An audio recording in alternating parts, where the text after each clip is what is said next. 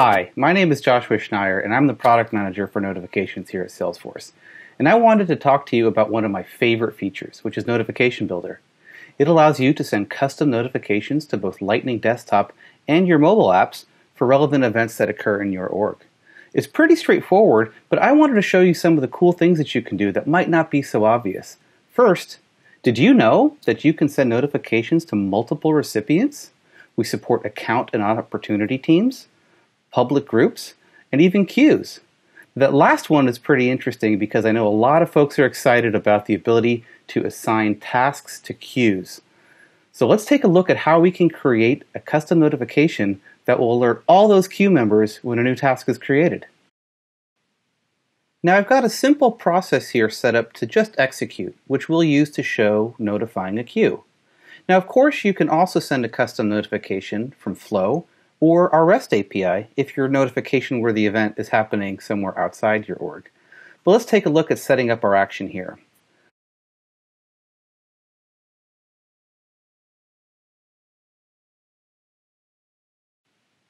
We'll want to give this a name.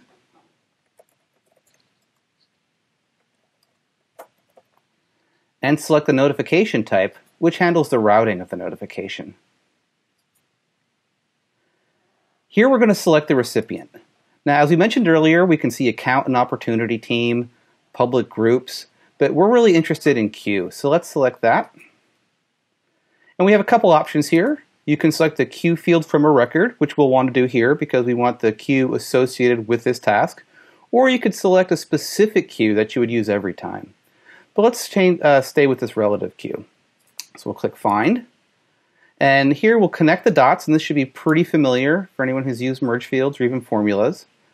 We'll select Assigned to ID, so that's the field on our task that's pointing to the queue. And we'll select Queue ID. Next, we need to put some content in the notification. So in the notification title, let's add a message.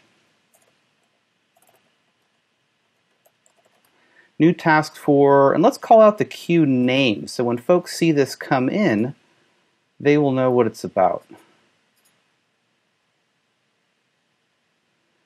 We'll go to the queue, assign to ID again. And instead of selecting the queue ID, we're going to take the name of the queue. And now for the notification body, let's go ahead and put the subject of the task for a little bit more detail.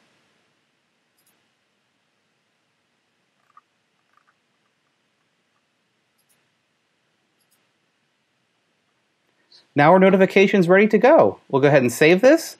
And the next time a task is created and assigned to a queue, this notification is going to fire and let everybody know.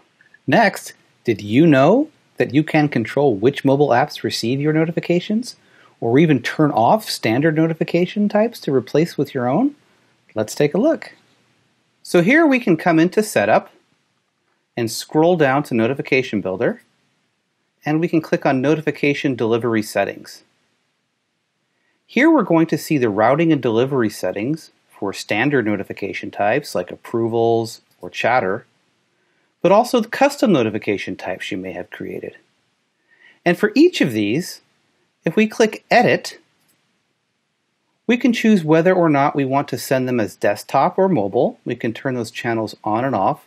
And for mobile applications, we can choose which specific apps we want to send them to.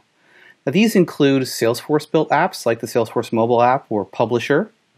But starting in Summer 20, it also includes any custom apps that you may build using our mobile SDK.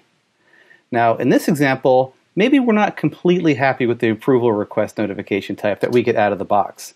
We can simply turn off both desktop and mobile channels. We'll save that, and this notification type will effectively be silenced. We can then go into Process or Flow and create our own notification for approvals that's more suited to our needs. So we do have a lot of good control on how we can route these notifications. So next up, did you know that users can control which push notifications they receive directly from the Salesforce mobile app? Let's take a look.